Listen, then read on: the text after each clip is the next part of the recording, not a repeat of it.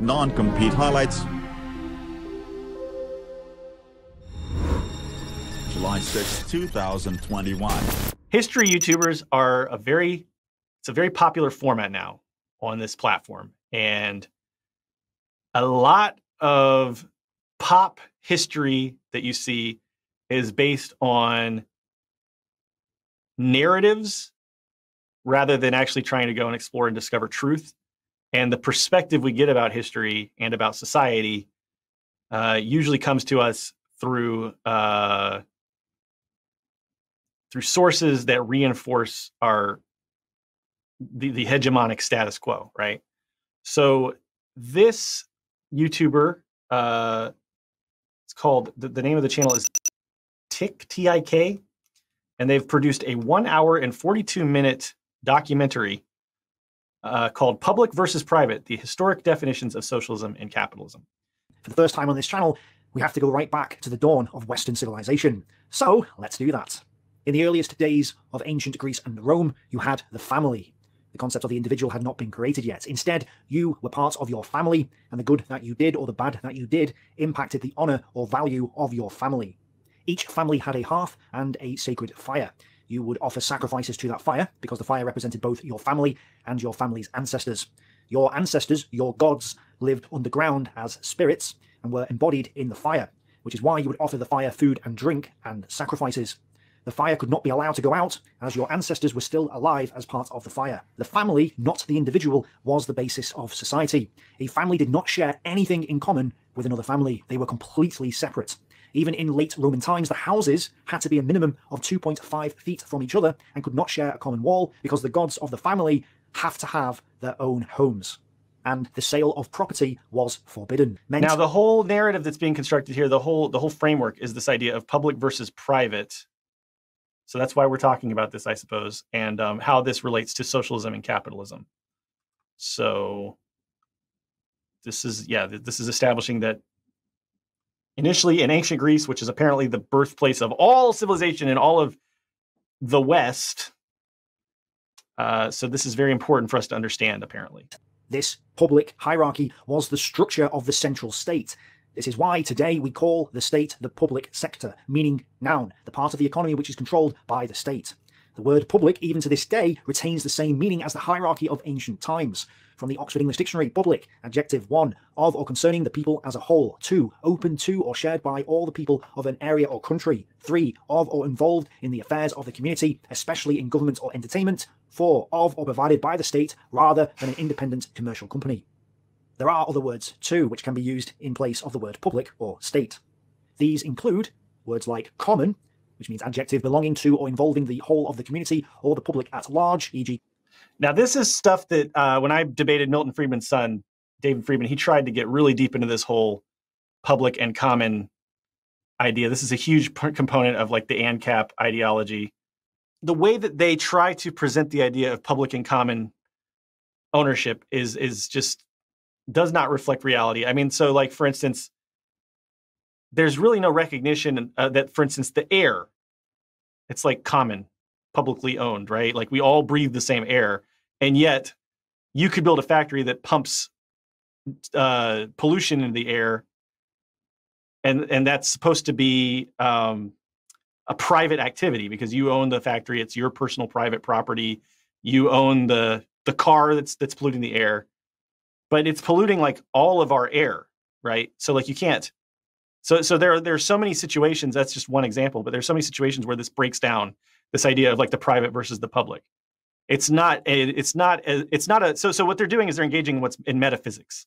Metaphysics is this philosophical concept that things can be sort of segmented and broken up into a bunch of different disparate isolated concepts and things and objects in and of themselves right whereas as socialists uh, i personally subscribe to dialectical materialism which is this idea that first of all there is no thing that exists in and of itself. Things are constantly in a state of change and things have dynamic relations with each other and and and nothing is like a static thing, right?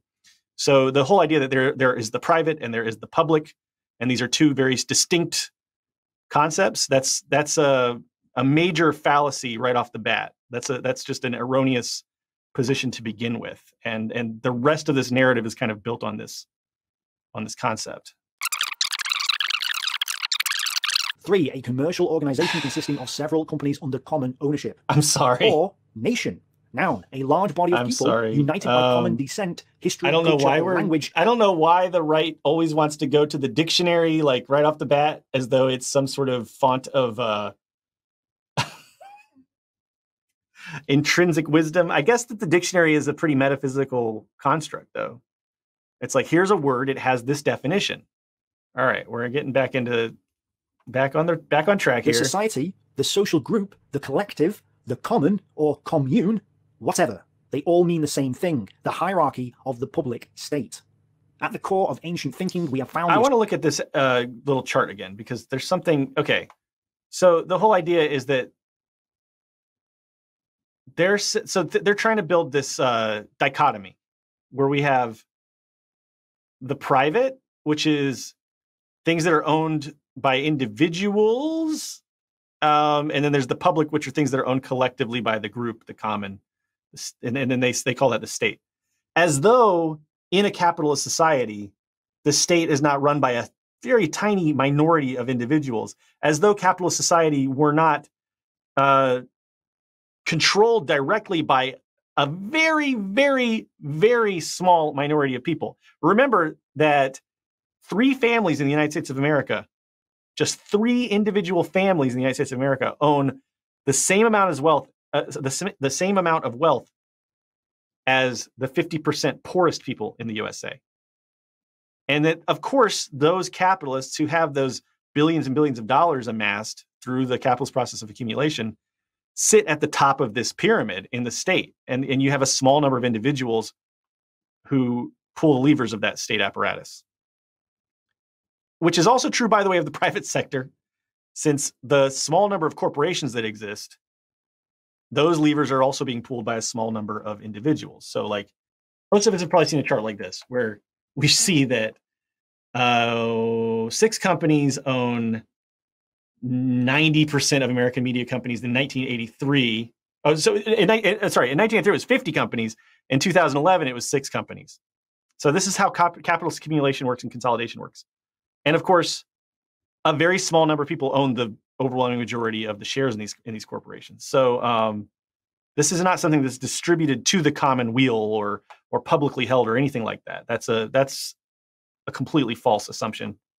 Descent, history, culture, or language inhabiting a particular state or territory.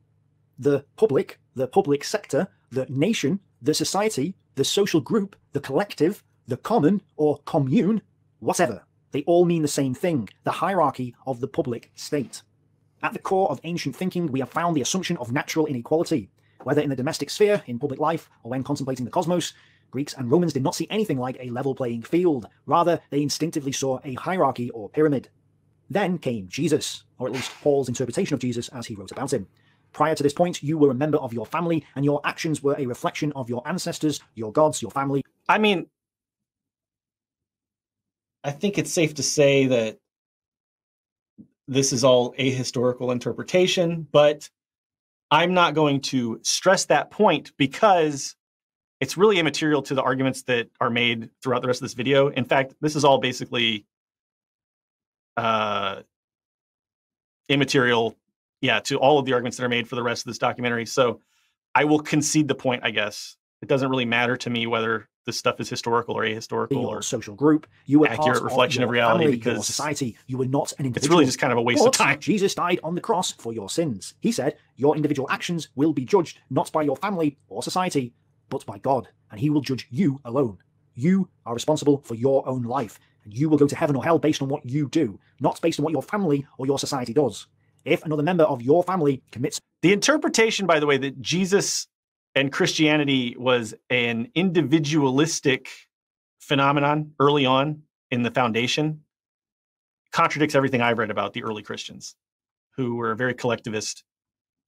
But again, immaterial to the main point and something I'm willing to to kind of you don't go to jail for it. here. If, you uh, are not guilty by association in the eyes of God. Whether you believe in him or not, Jesus' significance for the history of humanity is profound. This was the invention of the concepts of the individual. Every human being. And this is okay. I got to mention too. Again, this is a narrative. Obviously, individuality existed before Jesus and also around the world in various ways and manifestations. So this is very much a narrative that is being constructed that okay, first there was in ancient Greece only, in this one little place called ancient Greece, which was the fountain of all Western civilization, there was no such thing as an individual. And then suddenly Jesus came along in a totally different region and invented individuality. And then that changed this entity that is the West so that now the individual was the focus. Like this is do you see the problems here? Like this is not a this is not a this is not how we do history. This is not how we do the work of historical analysis. It's it's a very strange uh, and, and um, amorphous and, and uh, eclectic. Is now individually responsible for their own lives. Paul's vision on the road to Damascus amounted to the discovery of human freedom, of a moral agency potentially available to each and everyone, that is, to individuals. This universal freedom, with its moral implications, was. Never mind that people were discussing human freedom around the world in various organizations and discussing the relate like for instance in China they have they were they had we have manuscripts from China from before this period when people were talking about the role of the state and the role of the individual and Taoist texts that were talking about human freedom and individual liberty. And ancient Greek philosophers who predated Jesus who talked about all of these things including you know a few names you might have heard of like Socrates, Plato and Aristotle, Never mind all that. We have a narrative to build. So utterly different from the freedom enjoyed by the privileged class of citizens in the polis. Oh, the Christ provides a foundation in the nature of things for a pre-social or individual will. Individual agency acquires roots in divine agency. The Christ stands for the presence of God in the world, the ultimate support for individual identity. The private individual is born. Prior to this point, private meant a small group or family-sized unit at the bottom of the hierarchy and it still does. But now it also meant the individual within that small group or family. An individual who owns his own private tools and private workshop is a private individual, and a small family who own. But when you rise higher on the hierarchy, you shift from private control to public control. To go public is when a company makes shares available on the stock market for the first time. This is a really common capitalist apologist talking point, uh, and, it, and it ties in with the idea that everyone owns a corporation collectively. It's a collective experience. It's not what it's not and the idea that like capitalist entities aren't owned by just a few people. It's owned by everyone. We have 401ks you know? Well the fact is first of all only about 55% of people in the usa the wealthiest most capitalist country in the world own stocks and the stocks that are held for the, for you to understand this, you have to understand the CMC and the MCM modes of circulation, which I've made a whole video on that. If you want to go check it out on my channel, non-compete. Um, but the long story short is, stocks are fetishized commodities on the stock market.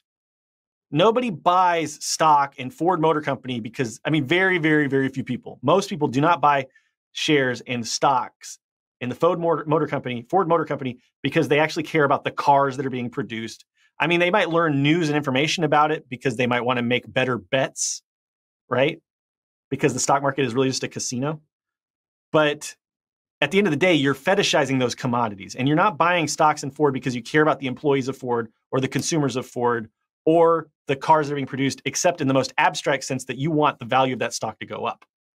So a stock in that sense is a fetishized commodity it is a store of value, and people invest in the stock market with the hopes that they will put money into it and then they'll get more money out than they put in. In this kind of system, these commodities are really not much different than fiat currency or gold or any other store of value you might be holding on to.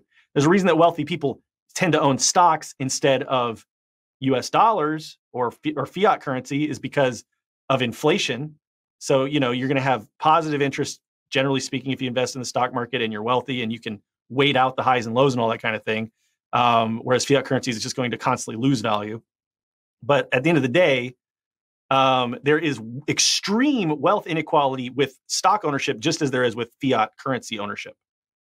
So, in other words, only about 55% of Americans own stocks at all. And then the distribution of those stocks, if you look up the numbers, the stocks are in the hands of a very small amount of people. And then the majority of people who even own stocks, they own a very, very small, minuscule amount of stocks. Okay, which is exactly the same case with fiat currency. So that's why the amount of wealth in the United States, three individual families own the equivalent to the 50% poorest families. And that's true of all forms of asset and wealth not just fiat currency, but also stocks as well. So we've created a system that gives you an illusion of collective ownership and an illusion that we are all bought into this system. And by the way, in the, in the process of doing so, in building this 401k system, which is how you know so many people own stocks, we have gutted the pension system and the retirement systems that people were actually benefiting from. There's been a lot of research into that. The 401k system is a lot less stable. I mean, imagine if you had retired in 2007, 2008, or imagine if you had retired in 2020 when the stock market was just totally tanked and you had to pull out some money. Yeah, it's 100% a casino. It is different from fiat currency. Yeah, I mean, it's it it, it is volatile and uncertain, but here's the thing too. It, it, that is another thing that benefits the wealthy, the volatility and the uncertainty. That's why Warren Buffett said that the stock machine, the stock market is an engine or a machine that takes money away from the impatient and gives it to the patient. what is the source of impatience when it comes to the ownership of assets? Why would you be impatient about it? Probably because you need to use your your money. You need to you need money to buy things to live. So people who are workers who have to work for a living are much more likely to have some kind of emergency, especially if the economy starts to tank, where they'll need to get their money out of the stock market and buy food or make a payment on their house if they get fired or fix their car if it breaks down. Whereas extremely wealthy people can ride out that volatility and ride out the lows and highs and even buy in when the economy goes down in ways that working people can't do. So that's another way in which the MCM CMC relationships, those, those modes of circulation, benefit the extremely wealthy at the expense of the working class. And that's another form of accumulation. And if you look at the like a Wyckoff distributions and look at the ways in which wealthy entities, corporations, and and and the people who work for wealthy corporations in terms of investment, they are very good at very sophisticated maneuvers and operations, which siphon up wealth from the poor in the stock market and put them into the accounts of wealthy people. It's it's been you, it's been very well documented going all the way back to like the 1920s and the first big stock market crash. Uh, and people have been doing it for even longer, for as long as markets have existed. Like, and, and I mean, stock markets, speculative markets. Um, this is a myth. That's the whole point. This is a this is a myth that a corporation is actually a public entity. It's very much not.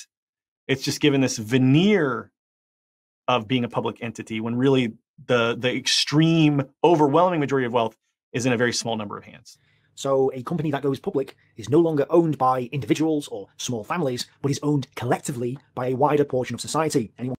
No, in fact, there's more wealth disparity now than there was under feudalism and monarchy.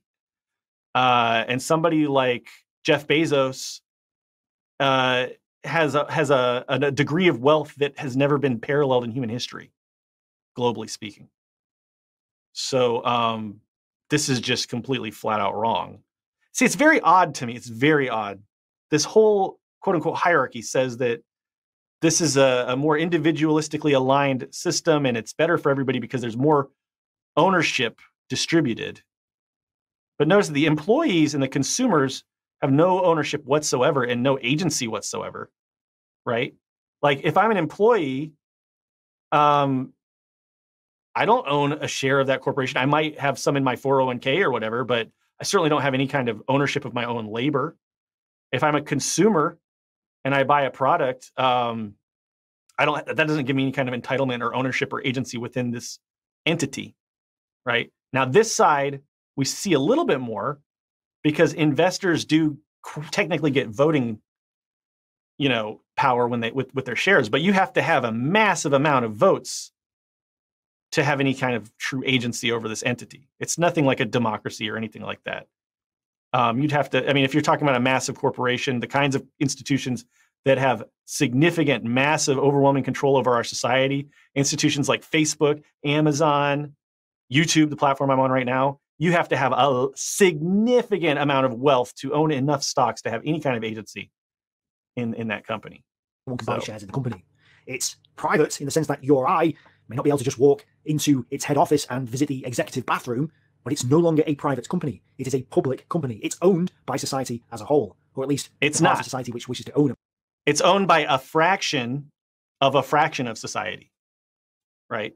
It's owned by the majority shareholders in every meaningful sense of that term. So you don't get a vote on the operations of the corporation unless you own something close to a controlling share, which amounts to billions of dollars with the kinds of institutions that have so much power in our society. And then for all the, eh, again, going back to the casino idea, for all the other people, the small people who have a small fraction of the ownership of the company, it really is just a speculative casino and a fetishization of commodities. Yeah. So a lot of people are forced to invest in the stock market against their will. That's another thing. It's like you're forced to have a minority share, right? Like it's coercive in the sense that if you want to work for your company or whatever, so different situations have have, have these uh different these uh these these these um, strings attached where like you have to have a 401k or you have to buy into this system or whatever and then it's like you don't actually have a controlling share share so it's like you're being forced to gamble and then you also have no agency within the corporate structure that you're forced to buy into it's like the worst of both worlds skills and weapons are the best investment for Americans, I think. There are worse, there are much worse investments than those two. I would have to echo that, depending on your personal uh, capacities and such. The stock market is completely manipulated and fake. The GameStop Robinhood short squeeze in February of this year proved it once and for all. Absolutely. Yeah. And the and the idea that the market is rational is which is which this video will get into, but it also disproved that once and for all. But what we saw with that was what's been happening all along. It just happened very publicly in a way that was sort of unprecedented, kind of unprecedented. But they did this stuff like that years ago with like Volkswagen. So this is not um, completely unprecedented, but it's something we've known for a long time. The stock market's completely manipulated, and all the regulation that exists. Who are the people that are doing that regulating? They're people that go and have drinks every night with the people who are uh, gambling on the stock market. That's a fact. There's a revolving door between the regulation agencies and the stock market. This is not this is not news to anybody. Subscribe,